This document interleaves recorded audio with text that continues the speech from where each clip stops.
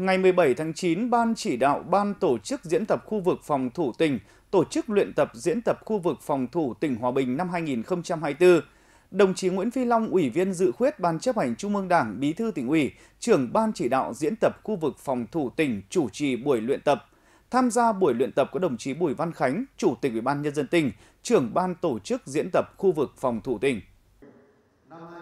Phát biểu tại buổi luyện tập diễn tập khu vực phòng thủ tỉnh, đồng chí Nguyễn Phi Long, Bí thư tỉnh ủy nhấn mạnh, diễn tập khu vực phòng thủ tỉnh năm 2024 là nhiệm vụ quan trọng của tỉnh và cả hệ thống chính trị trong năm 2024. Với tinh thần trách nhiệm cao thời gian qua, các cơ quan đơn vị của tỉnh đã tích cực chủ động xây dựng hệ thống văn kiện diễn tập, xây dựng công trình sở chỉ huy, chuẩn bị cơ sở vật chất, trang thiết bị tại các điểm diễn tập.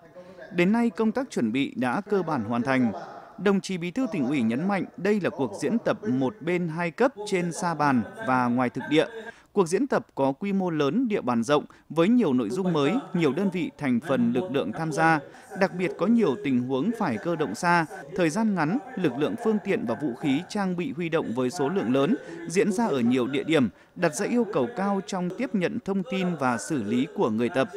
Để đảm bảo nội dung luyện tập đạt kết quả tốt, đồng chí Bí thư tỉnh ủy chỉ đạo các đồng chí tham gia diễn tập nêu cao tinh thần trách nhiệm, chấp hành nghiêm nội dung, chương trình thời gian luyện tập, văn kiện luyện tập soạn thảo ngắn gọn, đủ nội dung, sát với thực tế địa phương và yêu cầu trong diễn tập của tỉnh.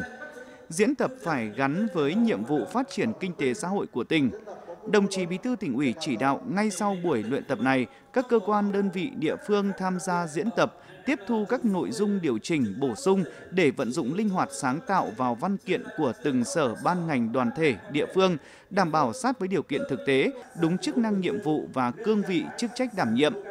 Nằm trong chương trình khung diễn tập tại buổi luyện tập diễn tập khu vực phòng thủ tỉnh năm 2024 đã diễn ra các nội dung quán triệt nhiệm vụ luyện tập, Hội nghị Ban Thường vụ tỉnh ủy mở rộng ra nghị quyết lãnh đạo chuyển địa phương vào trạng thái khẩn cấp về quốc phòng, Hội nghị Ban Chỉ huy tình trạng khẩn cấp về quốc phòng, triển khai các biện pháp chuyển địa phương vào trạng thái khẩn cấp về quốc phòng.